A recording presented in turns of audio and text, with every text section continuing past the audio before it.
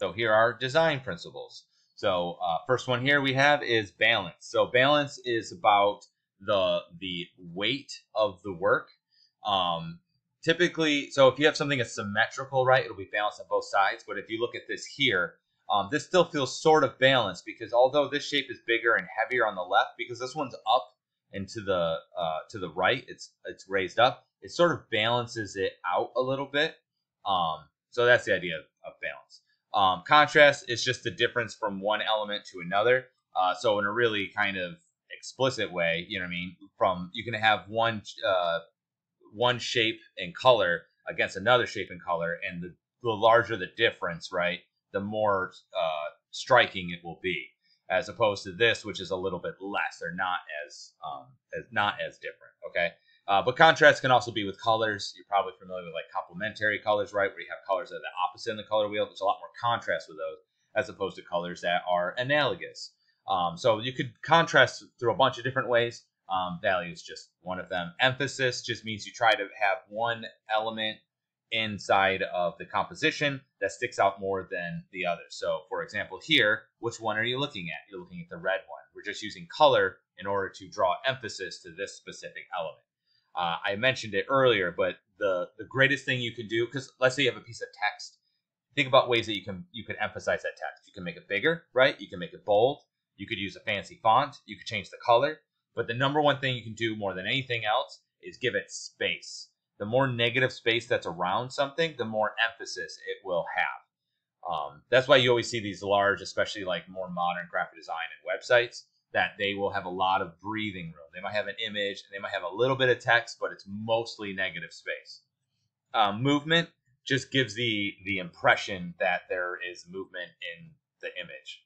Pretty obvious, right? So here I just kind of did this shading thing, um, but it also creates movement in it. So it helps your eye move across uh, the the composition. Pattern, just repeating elements over and over again. So you can see this is just a consistently the same uh, image sequence over and over. Uh, that's pattern, pretty obvious. Patterns are really useful things. So there's certain things you want to have patterns. Um, so uh, for instance, if you're doing a multi-page thing, it might be good to always have a horizontal rule at the top, and then on the next one, and the next one, because what that does is that once they learn the pattern, the the person learns the pattern, they they don't have to think about it again. They just understand it.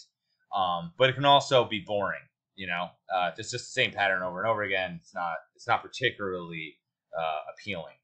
Um, rhythm is sort of like I like to look at. This is one of those things I always didn't really understand when I was in college and they explained it to me. Uh, but I would look at it like it's music, right? So a pattern, if we were looking at music, right, would just be bump, bump, bump, bump, bump, like a metronome. It's boring, but it does have a pattern, or it could be da da da da da da. You could change however you want. Rhythm, though, is like pattern where but it varies. So it's like I'm not a musician. But there's a variation and it moves faster and slower. It's almost like a combination of these two in some way. Um, so just like you have rhythm in dance and in music, you can have rhythm inside of a composition.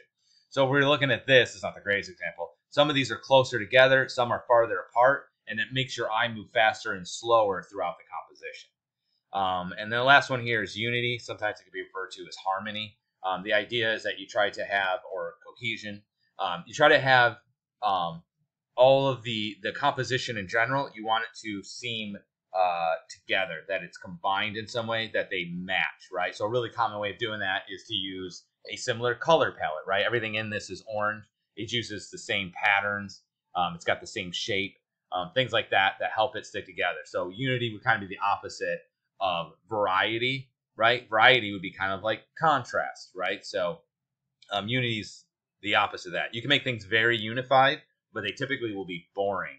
So usually it's a balance of trying to have it be, you know, have enough contrast and variety and, you know, novel things with consistency and cohesiveness and, you know, an understandable pattern.